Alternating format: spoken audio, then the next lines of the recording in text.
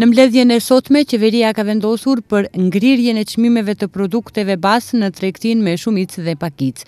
Çmimet e produkteve do të mbesin aq sa kanë qenë, më datë një dhjetor të këtij viti, si në tregtinë me shumicë ashtu edhe në atë me pakicë. Ky vendim do të zbatohet deri më tridhjetë e një janar dy mijë e njëzet e dy, me mundësi vazhdimi, nëse situata e tregut e kërkon diçka të tillë. Ky vendim përcakton çmimet më të larta në tregtinë me shumicë dhe pakicë të produkteve ushqimore bazë, përkatësisht bukës, sheqer, miell, lloj katërqind, vaj ushqimor lule dielli, qumësht i përhershëm me përmbajtje yndyre prej dy pikë tetë për qind, tre pikë dy për qind dhe tre pikë pesë për qind, mish i freskët dhe produktet nga përpunimi i mishit dhe djathë dhe gjizë, thonë nga Qeveria e Maqedonisë së Veriut.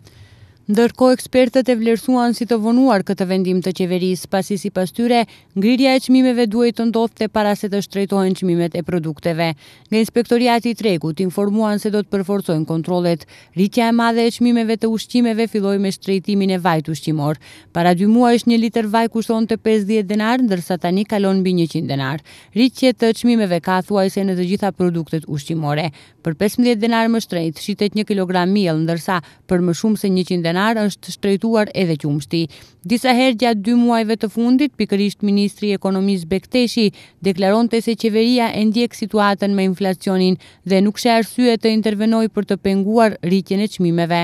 Në ndërkohë disa nga shtetet e rajonit i ngrinë çmimet e ushqimeve dhe prodhimeve për higjienë personale, ndërsa në Kroaci u ngrinë dhe çmimet e karburantëve.